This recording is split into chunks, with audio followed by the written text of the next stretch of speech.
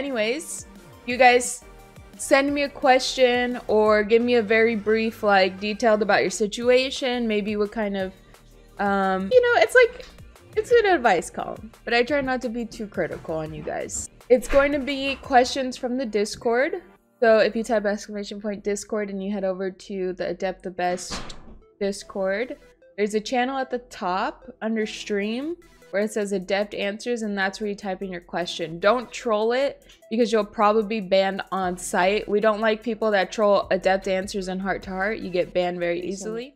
How did you first start growing off of your stream as a small streamers i feel it's harder to grow nowadays and you get lost in the mass even if your content was unique or cool. Not saying mine is i've just seen some of them myself.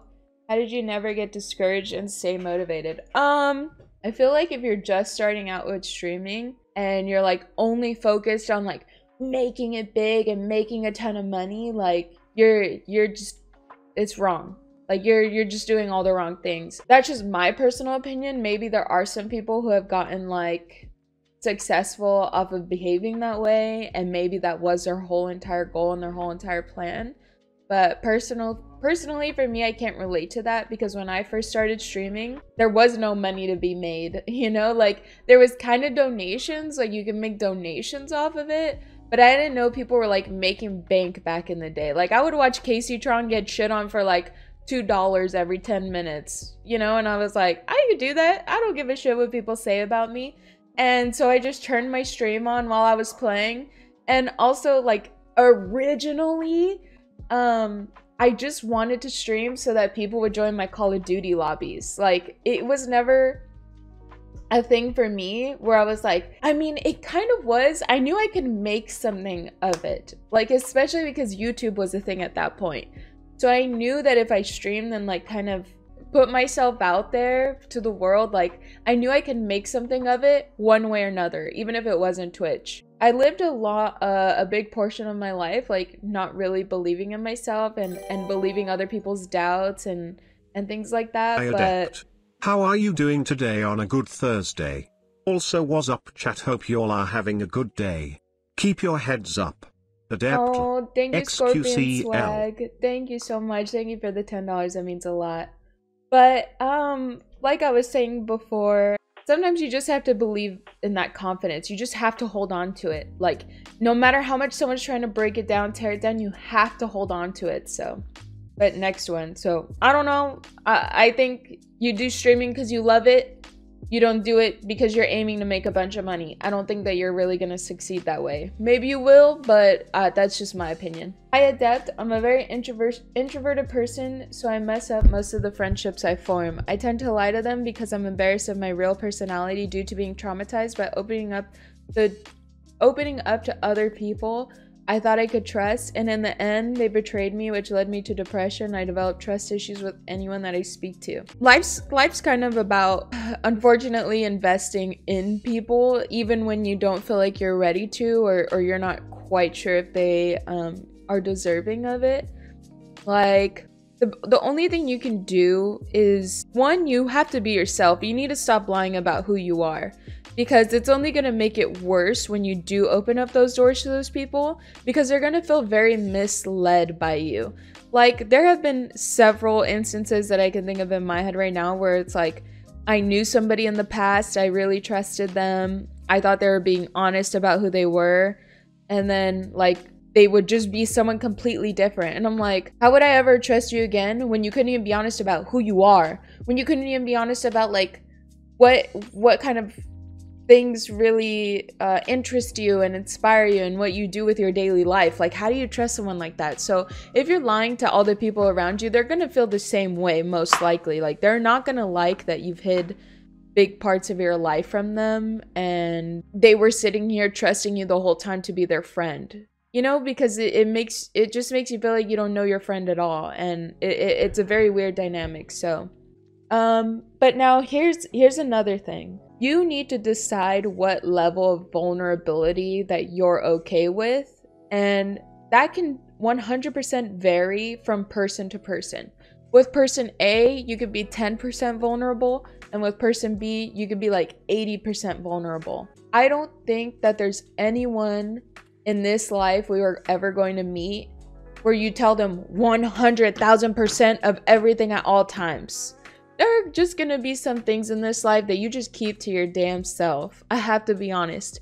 Either you keep it like, let's say there's 10% of like your life experiences that you just keep inside and maybe reveal it to like a, a, a, therapist or maybe one person or maybe a mom or dad but that's it. Like no there, there's so many things that you're to experience in this life especially as you get older. When people are starting families or or going through a divorce or a marriage or certain things like once you put those things out there and your friends and your family know and your cousins know and your and, and everyone knows it's hard to ever have them get over that shit because they will focus in on those things to make you feel bad and make your other person feel bad. You don't have to tell, like, even if someone is your best friend, even if someone's your husband, your wife, or whatever, they don't need to know every single thought that goes into your head. Now, you should be a mature enough person on your own to make sure that those thoughts are are reasonable and not like treacherous or trifling ass thoughts, you know, in your head. It might feel nice to open up to people, but in reality, you can only 100% trust yourself. There's even going to be times where where your loved ones are really going to let you down. Like you're going to experience you're going to explain to them the most traumatic thing that's ever happened to you, and they're going to tell you that one thing you wish no one ever said and that's just that's just how it be sometimes like you know um you, you have to get to know people and evaluate their maturity and and their emotional iq i would say. Hi adept. I have been watching for a couple days and i'm already in love with chat and you. You guys help me a lot when i'm sad in your community makes me feel amazing. That's great. And um i kind of wish more people use twitch in the way that you do. I think it's becoming a place where people like to hate watch or they like something and they do want to be a part of it, but they don't want to admit that they want to be a part of it, so they hate on it. Um, they talk shit about it. They're very nasty about it. You know, things like that. So good for you, and good for people like you that are, you know, using the internet in a in a fun, powerful way and and a and a meaningful way. Like you don't have to use the internet in a good way if you don't want to, I guess. But it's nice and it's refreshing when people do. What do you do when your father and your mom are divorced? And my mom is accusing my father of sexual so she can steal money from him and she's lying constantly. She's trying to get a hold of me so I don't live with my father and I feel like I have no say in it. Um, you know, there are going to be times where there are questions that I just can't answer fully and I think this is going to be one of those times because in scenarios like that, like that starts becoming legal, that starts becoming civil battles. And I'm not somebody who's equipped or knowledgeable enough to help you with a city battle. The only thing that I can offer is obviously from one child to another child of a different family is that sometimes your parents will go through things that you don't quite understand and that take a toll on you and and my my words to you would just be to try and focus in on yourself. Don't lose track of yourself and what makes you happy and and you know, for someone like me, whenever I'd hear my parents fight, I'd get very, very stressed out and like my back would start tingling, you know, like my spine was tingling and and it, it would make me so like heightenedly paranoid that it, it was like very stressful. So um you have to learn how to recognize that that's happening and go do something healthy with that. It takes a lot of courage.